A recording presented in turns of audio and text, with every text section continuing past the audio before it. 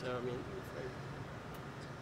we can take uh, T cells from a bone marrow transplant donor, uh, pick out the ones that fight viruses, and then give them back to a, uh, to a bone marrow uh, transplant recipient after transplant to boost up their immune immunity against uh, several viruses.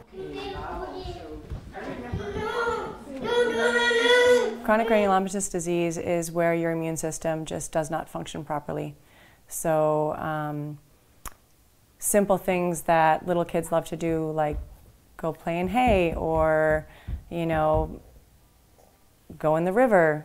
Those are kind of big no nos. That's what our bodies are supposed to do. They're supposed to fight off germs, they're supposed to be able to process them. And it's neat to see him processing things and especially play outside, play in the mud. You know, um, what a gift.